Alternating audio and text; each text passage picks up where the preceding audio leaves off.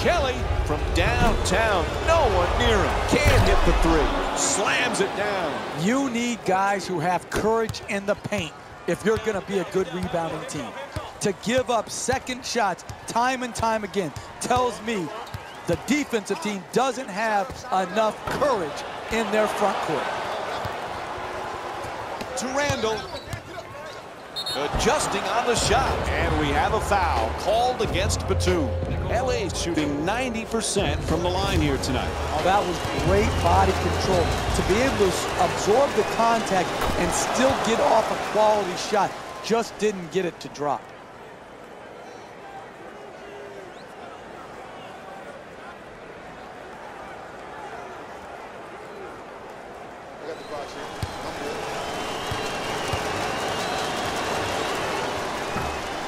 And fails to hit them both. Hits the first, misses the second. Lin on the drive. Lets it go. Able to put it in. The Hornets down by 29.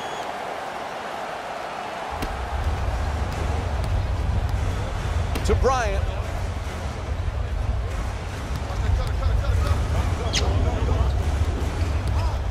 The two defenders converge. Hits for two. And Kobe Bryant with 15 points here in the fourth.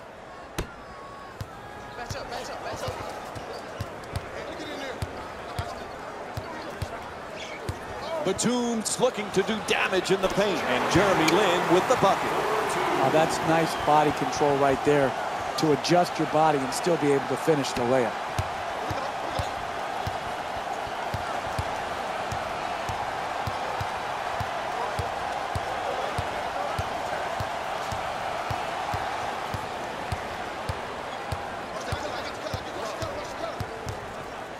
To Bryant.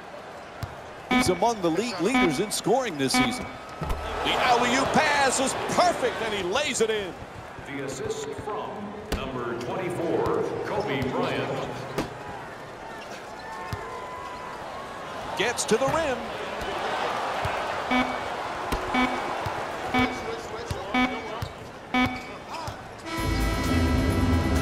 And this ball game is over. The final score is 94 to 63. For Jeff Van Gundy and our entire EA Sports crew, this is Mike Breen saying thanks for watching and good night.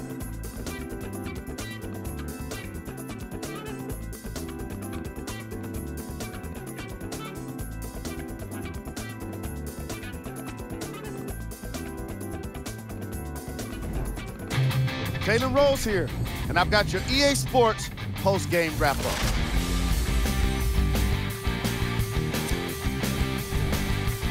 Lakers dominated this game from beginning to end. The scoring display they put on is going to be hard to forget.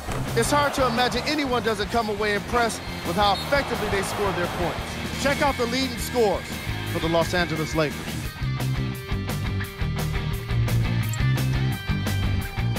The Hornets really lost big in this matchup, and you can tell it was tough on them. My advice for these guys is not to watch any TV tonight because it's not going to help them forget about this game. Everyone is going to be talking about this one. Check out the leading scores for the Charlotte Hornets. Game track. Defense. The Hornets were giving up steals when they weren't giving up some blocked shots. Their performance today definitely wasn't great.